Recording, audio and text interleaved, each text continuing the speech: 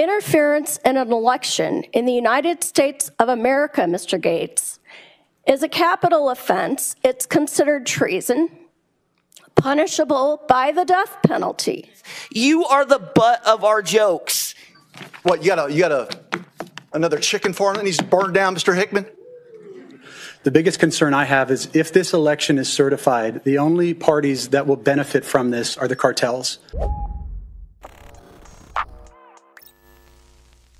You just got a small taste of the insanity that occurred on Monday as the Maricopa County Board of Supervisors convened to certify the results of the 2022 election, which they're obligated to do by law, by the way. Now, I've got more footage for you for later, but the reason why they are showing up is because predictably they are crying fraud and Kari Lake is refusing to concede the election. Now, to make matters worse, Donald Trump also fanned the flames of conspiracy by tweeting this on Truth Social. Massive numbers of broken voting machines in Republican districts on election day. Mechanics sent in to fix them made them worse.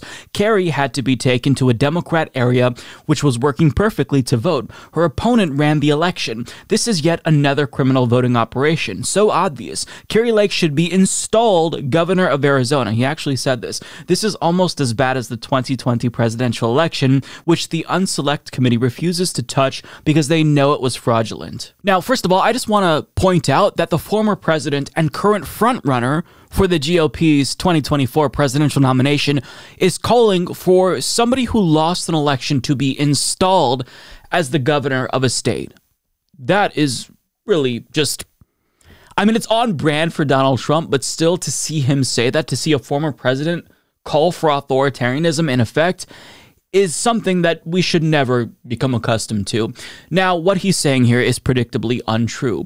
There were indeed glitches that took place in Maricopa County, but that did not lead to voters being disenfranchised. As the New York Times explains, a series of technical glitches disrupted ballot counting on Tuesday at about one in four voting centers in Republican led Maricopa County, Arizona, rekindling embers of baseless voter fraud claims in the right wing media and politicians. Officials in Maricopa, one of the nation's most populous counties, and a focus of efforts to overturn the 2020 presidential election, said the problem affected ballot tabulation machines in about 60 of the county's 223 voting centers. In the afternoon, the county said it had isolated the problem. Printers were not making dark enough markings on the ballots.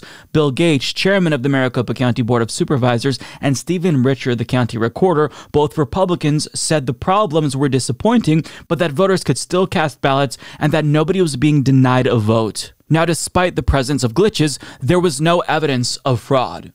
But still, election deniers exerted pressure on these counties to not certify the results, which is something that they are obligated to do.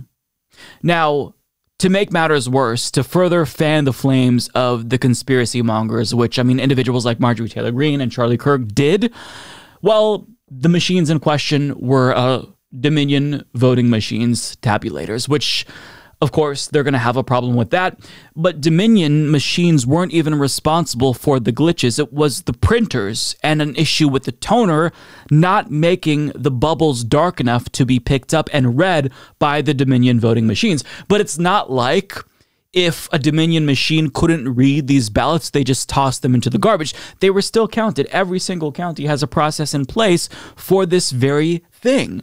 So the votes were still counted. Nobody was disenfranchised. And these glitches are not a new phenomenon in American elections. Let me remind you of this video that went massively viral back in 2012 when a vote switched from Obama to Romney. It did happen, but it wasn't due to malfeasance or indicative of widespread fraud. The glitch occurred because the touchscreen wasn't properly calibrated. It was taken out, recalibrated, and put back in service. The same thing happened in 2008 as well after people reported their votes switching switching from Obama to McCain. So these glitches are going to happen. When you're using technology, it's an inevitability. It doesn't necessarily mean that that is automatically going to lead to fraud. In fact, the glitches did not lead to fraud in these instances. But of course, if you're already predisposed to think in a conspiratorial manner, you can see why these folks think that that's suspicious. And when you have individuals like Kari Lake and Donald Trump and Charlie Kirk and Marjorie Taylor Greene fanning the flames, of course, they're not going to believe people. They're not going to believe that these are just glitches. They're going to think that the votes are being stolen because they were already going to believe that regardless. This just gave them more ammunition. Now, as AZ Family reports, Republican officials in Cochise County refused Monday to certify the 2022 election ahead of the deadline amid pressure from prominent Republicans to reject a vote count that had Democrats winning for U.S. Senate, governor, and other statewide races. Meanwhile, in Maricopa County, the Board of Supervisors approved the canvass of the 2022 general election Monday afternoon at the end of an hours long meeting that began with an executive session at 8 a.m., followed by public comments. So, Maricopa County did what it was legally obligated to do, but before they convened on Monday, there were lots of protesters outside, but things really went off the rails during the public comment session. And um, be warned, this is certainly unhinged, but it's kind of entertaining in a sad way. Nonetheless, I'll shut up and let you watch. I came here today to get an up close and personal look at the seven traitors to the United States Constitution. Okay, again, are sitting at that desk. You were set to receive a subpoena this morning at 9:30. What did you do? You called your meeting for 8 a.m. What are you hiding? I will not repeat your election crimes. I will just say, not certifying the machines constitutes a form of interference.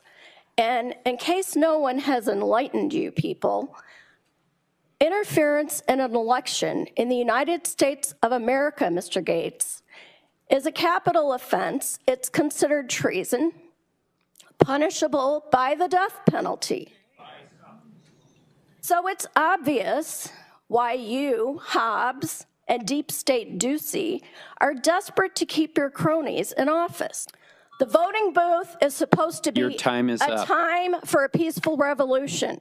Those who make Your- your ti- peaceful revolution impossible make violent revolution necessary. You're, you're, And if you willingly certify this election, look at it. Mm-hmm. Every single one of us who's a poll center right net worker right now is making fun of you. Every single one of us. You are the butt of our jokes. Disaster. Now get here's your chance. Validate yourself. Save yourself. Be the hero for once in your life. Slave. That's what I am to this system, to your corruption. This is outrageous. This is a national crisis, and you're giving people two minutes to address a national crisis. And the way that you guys can just sit there, it's disgusting. Watching you pledge allegiance to my flag was disgusting, the way that you sold us out. So a curse upon you, a curse upon all of you, you smug, smug people. What, you got a, you got a, another chicken farm that needs to burn down, Mr. Hickman? Mr. Chairman. All right, Am I again, bothering we're, you? we're Am I bothering you? Because this election please. bothered me. So let me re- let me frame this right. We're not framing this properly. This is a war between good and evil, and you all represent evil, including you. I want to look in your eyes, especially you. I see the way that you look at people when they come up here and speak truth. Such arrogance dripping from your mouth, just like the smile on your face right now. You guys represent evil, good versus evil. All you God-fearing men and women out here need to understand that and get up every day and start donning your body armor before you step on this battlefield. We cannot continue to fight this war with these earthly weapons and continue to talk on deaf ears. We must get God in the middle of this thing. These men are born sinners, lying from their earliest words. They are poisonous, deadly snakes, cobras that close their ears to the most expert of charmers. Oh God, break off their fangs. Tear out the teeth of these young lions, Lord. Let them disappear like water into thirsty ground. Make their weapons useless in their hands. Let them be as snails that dissolve into slime and as those who die at birth, who never see the sun. God will sweep away both old and young. He will destroy them more quickly than wicked men, more quickly than a crook cooking pot can feel the blazing fire of thorns beneath it.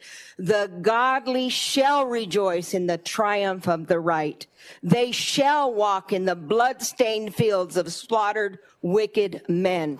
When there is moral rot within a nation, its government topples easily. This whole process of the two minutes is a violation of our First Amendment right to air, to, to, con, to petition our government and address our grievances. You have no right to limit our time while you give government officials that work for us all the time in the world that they need to talk about what they're gaslighting us about. The second thing I want to say is everything that Mr. Richer was talking about, early ballots, mail-in ballot, uh, it's a violation of the Constitution. Have you read Article 7, suffrage and elections? I don't even know what to say about that. They are obviously deranged people, and some of the things that they were saying is obviously unacceptable, but yet this is where we're at, where a number of people in this country have become so radicalized that they'll say things like that in public, even if they know that other people are going to see and hear them. Now, one thing that I wanted to share that was cathartic is the response from the supervisors who blamed Kari Lake for fanning the flames here. And I was disappointed that so many people obviously didn't come here to get answers. Because we were here to pr- provide the answers if they were willing to listen, but after they got through making their speeches, they left. You look at the Twitter feed of Kari Lake and the Kari Lake War Room, they put up 28 posts on Twitter of 28 people speaking with concerns and comments and yelling at us. But when it came down to answering every one of those questions, not one tweet from Kari Lake explaining why there was the problems at the polling site, why there were some lies, not one explanation to the voters. It, it's a, a perfect example of Kari Lake not wanting to tell the voters the truth. She doesn't. She wants to tell one side of the story she posted 28 different tweets. I looked at it right now, but not one tweet. Once the public comment was done, that was it. They shut it off, and that's all they want their supporters to know. They don't want to let the voters know the truth. And that's what's so frustrating about this. Our elections were safe, secure, accurate. Everyone had the right to exercise the most fundamental right they have, the right to vote. And when you have folks that are throwing rocks at the system, but not wanting to tell the voters the truth, that's unconscionable. Shame on her. I mean, the frustration was palpable there, but for good reason. When you have these issues that are taking place that are already incredibly frustrating and worrying to voters, rightfully so, it doesn't help when you have people who are sore losers refuse to accept defeat and claim that they were robbed and these voters had their votes taken away from them. It's just, it's a really unfortunate situation. But the silver lining is that things could have been a lot worse. I was anticipating mini stop the steal elections across the country, but it seems like Arizona is really the only place where you see a really loud challenge to, to the results of the election. So this is where we're at, where conspiracy theorists are um, they're getting egged on by folks like Donald Trump and Kari Lake. So, in my opinion, the quicker that individuals like Donald Trump and Kari Lake become irrelevant politically, the quicker that we as a country can move on and democracy can recover from the blow that was dealt to it by Donald Trump. Do yourself a favor and click the join button on YouTube to become a member. Because Mike's doing a great job getting to watch his videos before everyone else is tremendous. Many people are saying this. Join today, folks. You won't regret it.